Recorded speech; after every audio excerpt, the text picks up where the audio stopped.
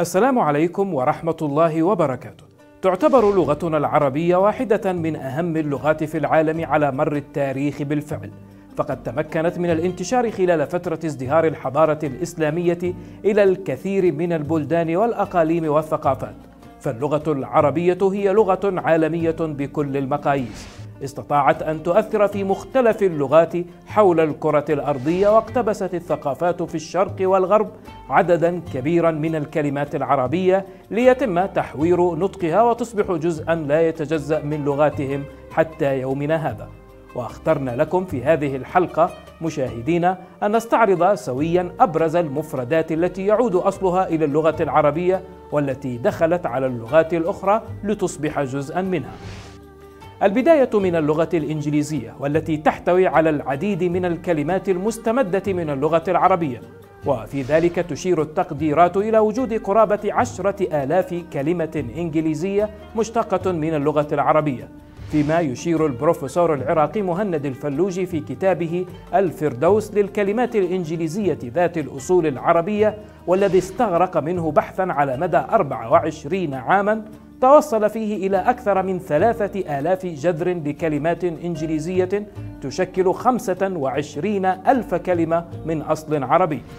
وعلى سبيل المثال مشاهدين لا الحصر من بين تلك الكلمات الإنجليزية ذات الأصل العربي كلمة شجر والتي تعني في اللغة العربية سكر وقد تم نقلها من اللغة العربية لتصبح من سكر إلى شجر أيضا كلمة الكول وهي كلمة إنجليزية تعني بالعربية كحول.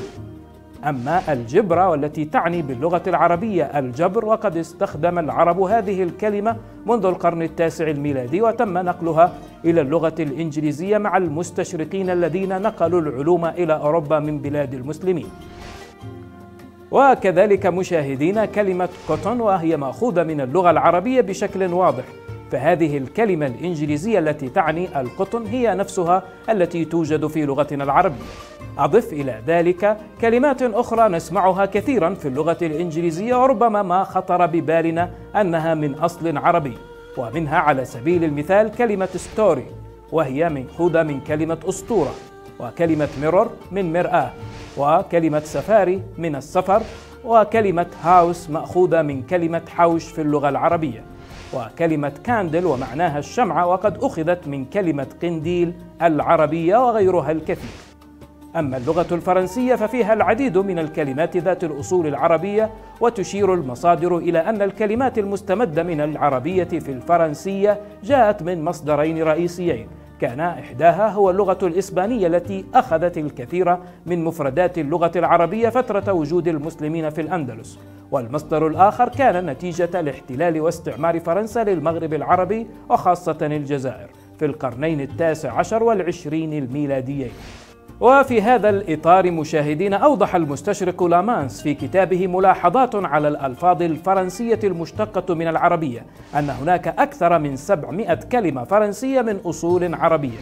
ومن بين أبرز الكلمات الفرنسية ذات الأصل العربي مشاهدين كلمة شيمي وهي مشتقة من كلمة كيمياء في العربية وكلمة سوغبيت مشتقة من كلمة شربات.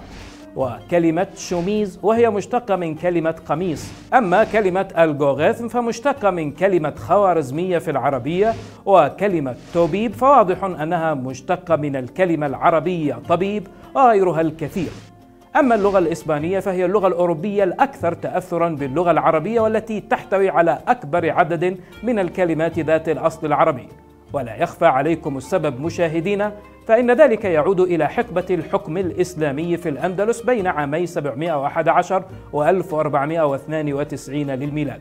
وقد ذكر المستشرقان إنجلمان ودوزي في كتابهما معجم المفردات الإسبانية والبرتغالية المشتقة من اللغة العربية أن الكلمات العربية الموجودة في اللغة الإسبانية تعادل ربع كلمات اللغة الإسبانية. ومن بين أبرز الكلمات ذات الأصل العربي في اللغة الإسبانية كلمة أثيتي وهي مشتقة من كلمة زيت وكلمة الكوبا ومشتقة من كلمة القبة.